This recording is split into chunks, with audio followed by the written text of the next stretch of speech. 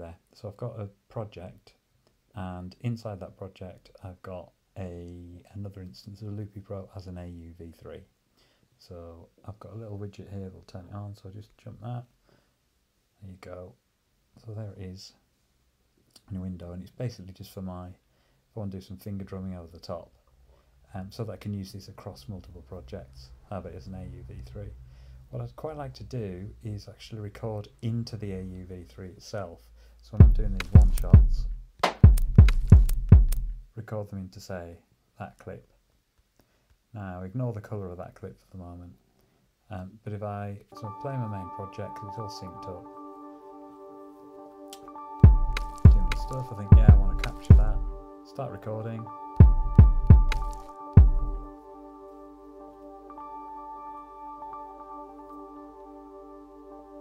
Nothing. Alright, so I'll go to the mixer in the AU and you can see.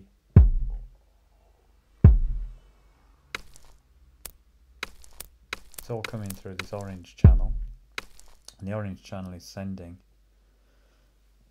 to all colours. So it shouldn't matter what colour that clip it should record surely unless AUs behave differently. So let's do this. I'll go to the clip and I'll change it to orange and same thing so if I just play that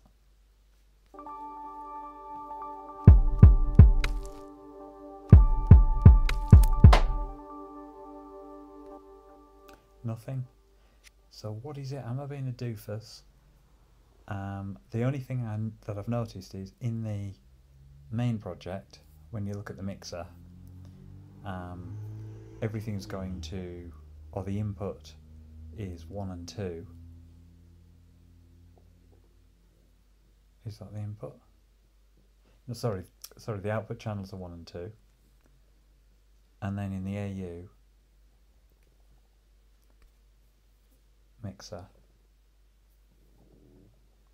This outputs to the master, so presumably that's just going back into the main project.